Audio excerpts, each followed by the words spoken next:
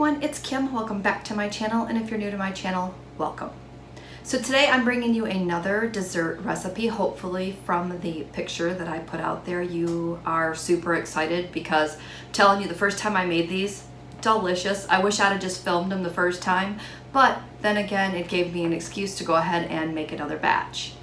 So today's recipe, again, Drizzle Me Skinny. Love, love, love her recipes. And this one calls for just a few ingredients and as you can see behind me, our star Kodiak cakes. So I'm gonna go ahead and turn you around. We're gonna throw this recipe together and get it in the oven. I've got the oven preheating right now at 350, so that's the first thing you need to do. Preheat your oven to 350 and then gather your ingredients so you're ready to go. Okay, I think I have all the ingredients and all the measuring utensils that we need. So let's go ahead and get this started. The first thing that we need is the Kodiak cakes. Try to give you a clear view. This is the one that I'm using. It's the protein pack, just regular buttermilk flavored Kodiak cakes.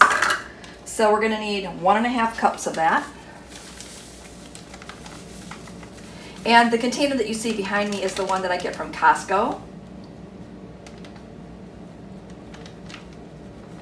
And it contains like three of the normal boxes. So it's kind of cool that they have it there and I could save a little extra money by grabbing it while I'm there.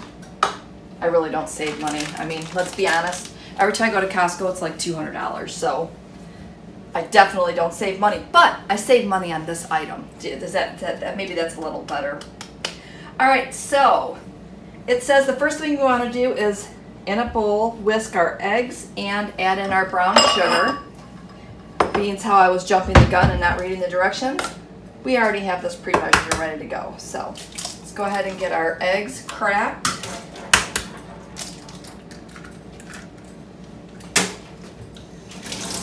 And we're going to grab a whisk. Okay, I just went ahead and grabbed a whisk and a fork because we're going to need those both. So two eggs, and again, I will link that recipe below for you so that you can make this for yourself.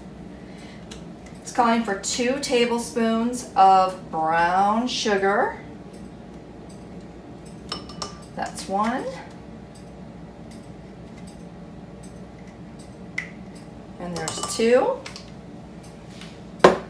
And I keep this little jar of brown sugar because sometimes I just need a little bit and it's easier that I don't have to keep opening the bag. And it keeps it a little fresher, a little longer, and doesn't get as hard in the bag. Um, let me know if there's a trick. Do you have a trick for storing your brown sugar? That's the only trick that I know of, and it works out pretty well for me, but I'm sure there's got to be a, another solution. Next it says to mix in the applesauce, milk, and vanilla. So for the applesauce, I just have some Walmart brand, a great value brand, unsweetened applesauce. And it's calling for two-thirds of a cup of applesauce. So I'm just gonna pour in two-thirds of a cup here.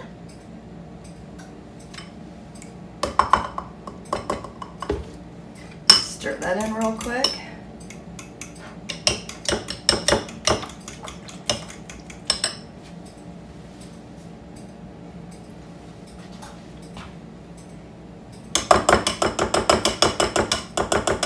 little bit left in the container there as I make a bigger mess on my counter. Very typical for me, I think. It's just if I wasn't making a mess, I wouldn't be baking or cooking or anything else. All right, so we have our applesauce. We have to put in our milk, and it calls for skim milk. A half a cup of that.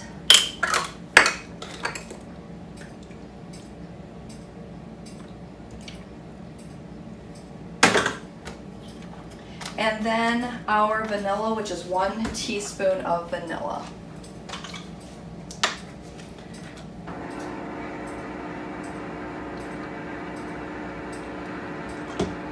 There we go. Seems like my ice maker always wants to fill right when I'm filming. So you guys probably always hear that on my video. You probably don't notice it, but I notice it. Sometimes I can stop what I'm doing and cut it out. Sometimes I can't. Today, not the opportune time. All right, so we have it in there. Then it says to stir in the Kodiak cake mix and the baking powder. So the baking powder that we need, we have one and a half cups of the Kodiak mix in here, and it calls for one teaspoon of baking powder. So I'm gonna put in just a heaping teaspoon of that. All right, so let's get this mixed up together.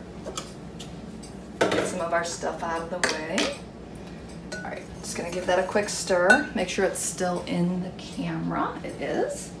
Then we're gonna pour our liquids in.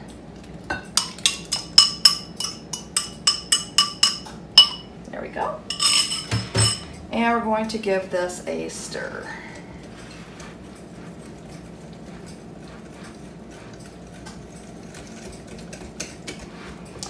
I always like to use a clear bowl anytime I'm mixing because then I can look underneath and see if I have it mixed together.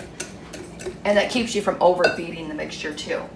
Okay, so here comes the fun part. It also calls for one third cup of sprinkles. I picked up these sprinkles at Kroger and I grabbed two because they were on sale. And since I've already previously made this recipe, I already know it's good. I know I'm gonna be making it again, so why not buy the sprinkles when they're on sale?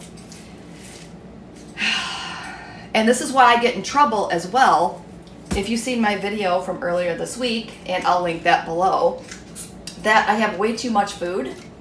This is why, because when they have a sale, I typically will buy some extra of things that I probably could have done without. All right, so I'm just gonna put another container out here because I'm going to need that. So it calls for one third cup of sprinkles. Try to not overfill this. Don't want to overfill it, but I don't want to underfill it either. All right, so I'm going to dump some of these in, and I'll tell you why in just a second. I need to dig out one tablespoon of the sprinkles. So we'll dump the rest of those in there.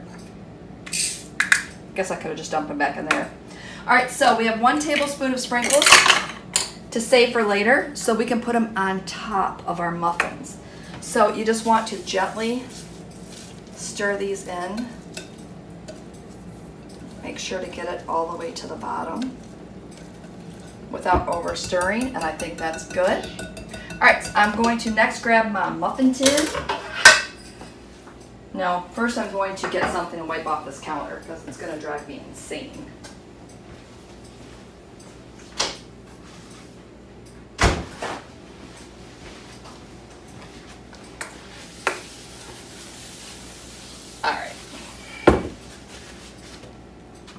Have that done. All right, so let's go ahead and grab our muffin tin.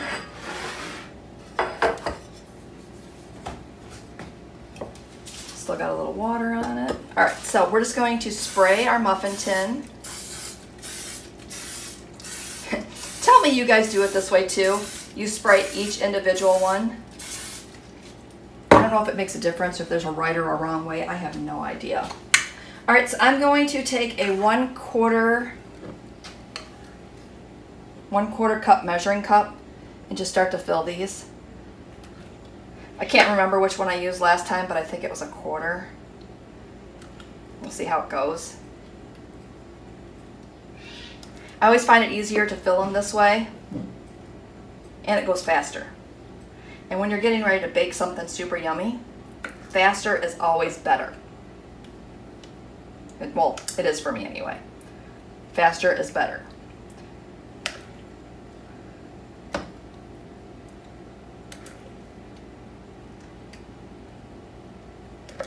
All right, almost done. Now, I'm not sure if this is a new recipe for her, but let me know in the comments if you've made this before.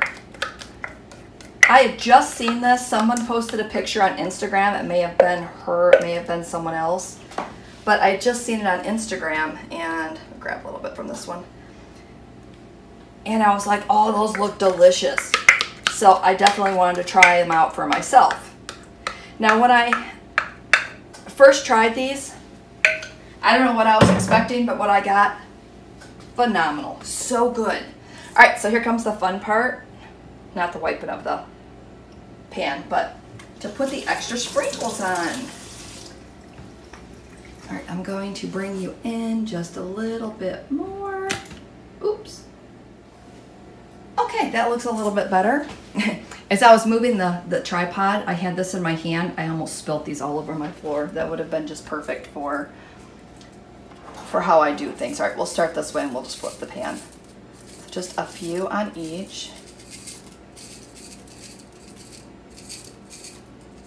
Now if you choose to use some paper liners, you can do that too. I just, the last time I made them, I did not need the paper liners. Plus I just got this new, this new muffin tin that doesn't seem to stick, so I'm probably jinxing myself right now, aren't I? Please don't stick. All right, you can see these go quite a ways. I mean, you wouldn't think they would. All right, so there we go. I'm gonna go ahead, I'm gonna get these into a 350 degree oven. They're going to bake for 18 minutes. And once that 18 minutes is up, I will show you our final product. Are you excited? You should be excited because these are so good. I mean, really, really, really good. Okay, our timer just went off and I just took a peek, but I'm gonna show you a peek now. Hold on and check this out. Don't those look amazing? Check them out. All right, I'm gonna pull them out so we can get a better look, but I just wanted to show you, oh, these ones turned out better than my last batch. Hold on. Okay, that is going to be our final look. Again, 18 minutes in the oven. My kitchen smells amazing. And I don't know if I mentioned the best part, but per the recipe, these are only two smart points each. I mean, you cannot go wrong with two smart points. And I'm telling you, the last time I ate these, it didn't need frosting. I mean, you would think it'd be kind of like a cupcake, but these are totally a, a muffin texture. And and no frosting needed. I'm sure if you wanted to throw frosting on it and add the extra points, you could, but totally not needed.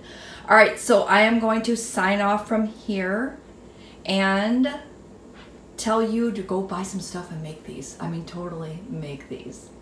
All right, again, thank you so much for watching. Please remember to like this video and comment below if you have any questions or if you just want to make a comment, just a general comment. I love to read your comments every day. All right, so have a great day. See you next time. Bye.